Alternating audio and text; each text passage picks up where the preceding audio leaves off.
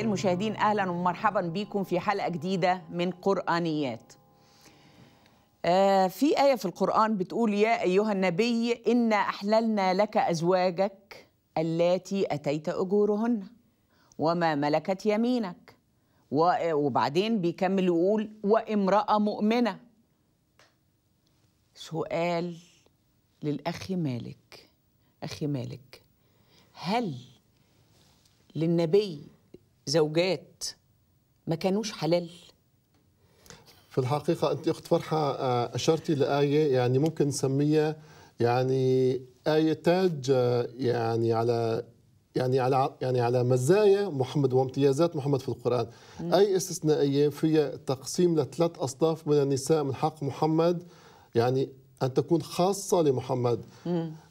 الآية هي موجودة على الشاشة أنا حطيت عليها الألف وباء والجيم هي مجرد لتوضيح على كل وحدة لها فقرة. الفقرة الأولى من الآية يا أيها النبي إن أحللنا لك أزواجك التي أتيت أجورهن. فهذا السؤال فعلا مط يعني مطروح غير مفهوم. يعني و... يعني كيف يكون لمحمد له زوجات حلال؟ يعني هل فعلا كانت له زوجات يعني غير محلات أو غير حلال؟ الآية فيها التباس ما معين. الطبري هو عنده إرباك. يقول التي تزوجتهن بصداق مسمى يعني مجرد ما أن يوضح أن لا الزوجات اللي أنت دفعت عنهم صداق صداق. طب السؤال ما ما هذا الموضوع حل على كل المسلمين؟ يعني كل المسلمين في حال. الزواج الش... يعني القانوني هو زواج. فهذا الجزء اذا بمعنى يعني يعني تحصيل حاصل ما له أي معنى. ولكن في الحقيقة هذا التحصيل حاصل له هدف. رغم إنه ما له معنى ولكن له هدف. أن ينقل ال- يعني العطاء لمحمد إلى النقطة ب وهي أني وما ملكت يمينك إن رجل كل امرأة صارت مسترقة بين ايدين محمد مما أفاء الله عليه كل مسترقة كل أسيرة تصبح بحوزة محمد ملك يمين يحق له أن يعني يعني يعني طب ما, المسلمين برضو بنفس الحكاية. نعم.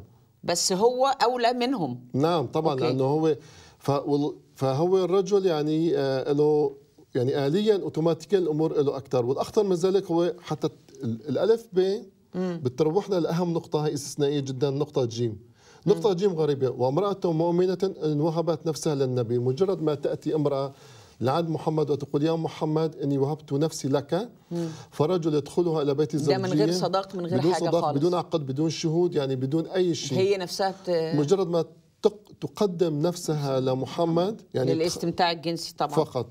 فهو يدخل إلى بيت الزوجية وتصبح يعني خلص آه، لا بس دي مش زواج. لا خلص هو تعتبر هو دي من مش من ضمن الزوجات يا أخي مالك. لا هي صارت فئة ثالثه امراه وهبت نفسها للنبي هو آه. صارت تعتبر. يعني آه. فتخيلي يعني إني هذا التصنيف إني محمد أعطى امتياز استثنائي لحاله إني أي امرأة تقول لمحمد إني أنا وهبت لك نفسي فتصبح يعني خالصة لو حتى لو لم تكن يعني اما حتى لو لم تكن أسيرة فكلمة في الموضوع إني محمد يذكر بالألف وباء باء. ب- يعني بأمور موجودة عند كل المسلمين فقط لياخذ جيم لياخذ فئة ثالثه من النساء حتى يعني بين قوسين يفتح الباب على مصراعيه لكل أمرأة ترغب بأن يكون يعني محمد يعني يعني زوجها فتذهب إليه.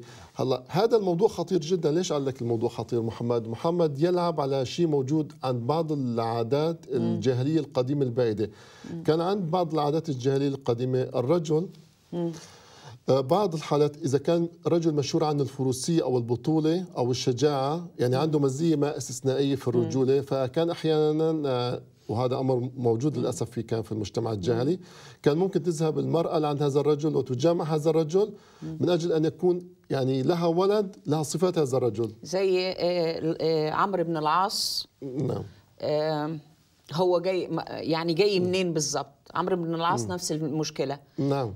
ولكن ولكن ينسب لاسم المرأة وزوج المرأة ولا ينسب للأب الحقيقي. بالضبط. فهذا يفتح الباب على مصراعي لنساء كثيرات يرغبن أن يكون يعني محمد هو يعني الشخص موجود في حياتهم يعني بمعنى الرجل في حياتهم. عارف يا أخي مالك لو لاحظت في آخر الآية هتلاقي إن الله غفور رحيم.